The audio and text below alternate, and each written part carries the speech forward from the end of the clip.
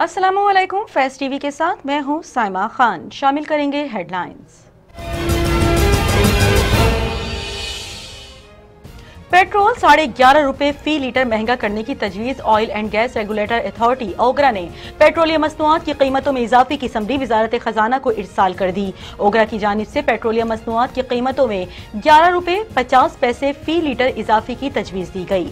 High speed diesel की कीमत में दो रूपए चालीस पैसे, मट्टी के तेल की कीमत में एक रूपए पचास पैसे। लाइट डीजल ऑयल एक रूपए चालीस पैसे फ़ी लीटर महँगा करने की तजवीज दी गई। कीमतों में इजाफे के हवाले से हतमी मंजूरी वज़ीर आज़म इमरान खान देंगे।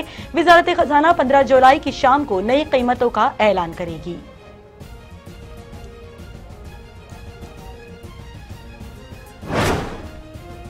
सिंध में कोरोना फिर सर उठाने लगा, जिसके बाद पाबंदियाँ और बंदिशें भी दोबारा लगा दी गईं। आज से रेस्टोरेंट्स के अंदर खाना बंद, पब्लिक ट्रांसपोर्ट 50 फ़ीसद मुसाफिरों के साथ चलेगी। सिनेमा हॉल्स, तफरीही पार्क और वाटर पार्क भी बंद कर दिए गए। पाबंदी के तहत सिंध में जुमे से साहिल समंदर पर शहरी पिकनिक भी नहीं मना सकेंगे।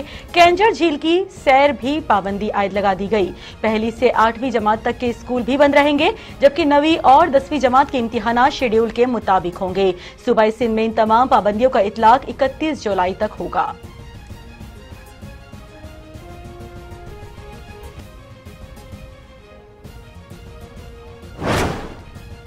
विफाकी वज़ीर असद उमर ने कहा है कि अस्पतालों में कोरोना मरीजों में तेज़ी से इजाफा शुरू हो गया है।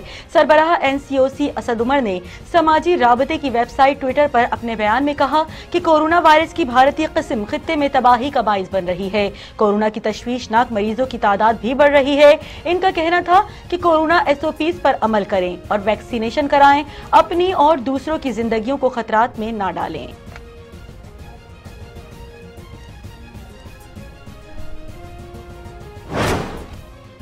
सबक सदर पाकिस्तान ममनून हुसैन इंतकाल कर गए। अहल खाना के मुताबिक सबक सदर ममनून हुसैन दो हफ्तों से कराची के निजी अस्पताल में जेर इलाज थे। सबक सदर के बेटे अरसलान ममनून ने बताया कि गुजशत कुछ अरसे से उनकी तबीयत नासाज थी और वो कैंसर के आर्जे में मुबतला थे। ममनून हुसैन साल 2013 से 2018 तक पाकिस्तान के सदर रहे। उनका शुमार मुस्लिम लीग नून के सीनियर रहनुमाओं में भी होता था।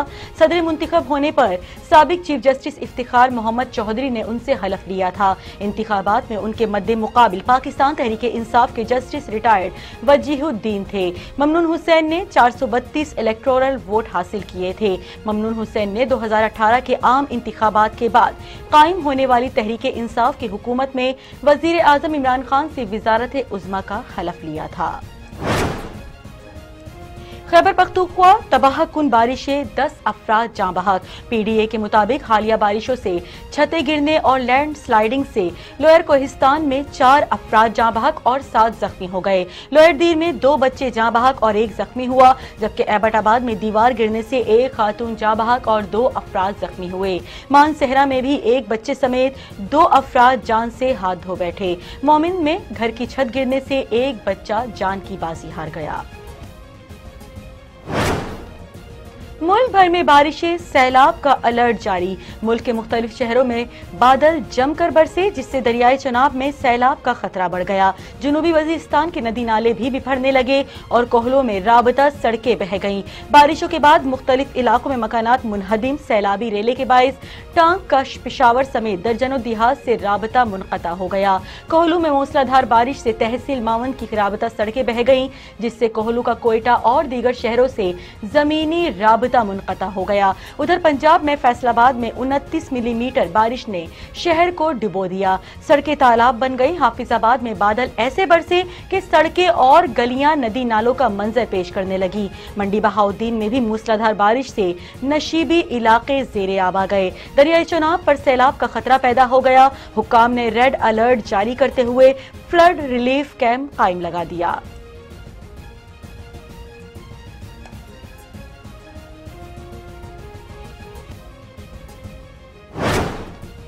कराची को पानी फराहम करने वाली तीन पाइप लाइनें फट गईं। ठट्टा धाबेजी पंपिंग स्टेशन कराची को पानी फराहम करने वाला सिस्टम बिजली ब्रेकडाउन के बायस मफलूज हो गया।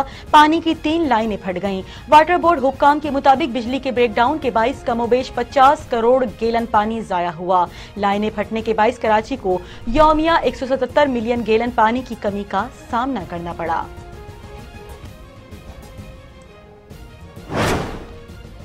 वज़ीर तालीम शफकत महमूद ने कहा कि पंजाब में नसाबी कुतुब मलाला की तस्वीर नहीं। एन ओ सी न मिलने पर हटाई गई। शफकत महमूद ने कहा कि जो भी तालीम के हक में बात करेगा, वो उसके साथ खड़े होंगे। दूसरी जानब इस हवाले से शीर रहमान का कहना है कि मलाला और बेनज़ीर को हाफिज जहरा ना समझा जाए। तो अल्लाह है।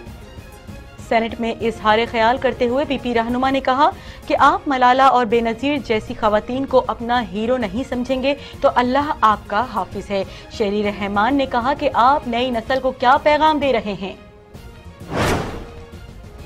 गैर मुल्की अफवाज से खास वो जैसा सलूक होगा, तुर्की के फैसले पर तालिबान का रद्द अमल। अफगान तालिबान ने काबुल एयरपोर्ट की सिक्योरिटी के लिए तुर्क अफवाज की तैनाती की मुखालिफत करते हुए कहा कि तुर्की के हुक्मरानों ने यह ऐलान अमरीकी मुतालबे पर किया। इससे दो तरफा ताल्लुक को नुकसान पहुंचेगा। तर्जुमान अफगान तालिबान का कहना है कि तुर्की के हुक्मरानों ने अपनी अफवाज की तैनाती के तसलसल का ऐलान किया। तुर्क हुक्काम का यह फैसला एक गैर संजीदा इकदाम है। ये फैसला हमारी कौम, मुल्क की खुद मुख्तारी और इलाकाई सलामती के मुनाफी है। पाकिस्तान टीम के लिए बुरी खबर। वनडे सीरीज़ की हार का दुख कम न हुआ कि दूसरा दुख मिल गया। टी ट्वेंटी सीरीज़ के लिए इंग्लिश टीम में तमाम स्टार प्लेयर्स और सीनियर खिलाड़ियों की वापसी पाकिस्तान के खिलाफ वनडे सीरीज़ से कबल। सेल्फ आइसोलेशन में जाने वाले नौ अहम खिलाड़ियों को भी स्क्वाड में शामिल किया गया है। इंग्लिश क्रिकेट बोर्ड ने वनडे सीरीज़ से कबल सेल्फ आइसोलेशन में जाने वाले खिलाड़ियों और सपोर्ट स्टाफ के कोविड टेस्ट की रिपोर्ट्स मनफी आने पर स्क्वाड का ऐलान किया। पाकिस्तानी क्रिकेट टीम के कोच का कहना है कि पूरी टीम इंग्लैंड के हाथों शिकस्त की जिम्मेदार है। कोच का कहना था कि मायूस कुन कारकर्दगी पर टीम का दिफा नहीं किया जा सकता। पूरी टीम इंग्लैंड के हाथों शिकस्त की जिम्मेदार है।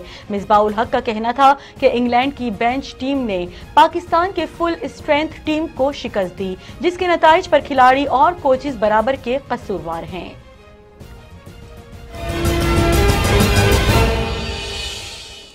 हेडलाइंस आपने मुलाहिजा की और इसी के साथ ही न्यूज़ स्टूडियो से फिल वक्त इतना ही। फैस टीवी नेटवर्क से जुड़े रहने के लिए फॉलो करें, लाइक करें फेसबुक इंस्टाग्राम और ट्विटर पर और सब्सक्राइब करें हमारा यूट्यूब चैनल फैस टीवी नेटवर्क और क्लिक करें बेलाइकन मजीद खबरों और अपडेट्स के लिए विज़िट कीजिए हमारी वेबसाइट फैस डॉट टी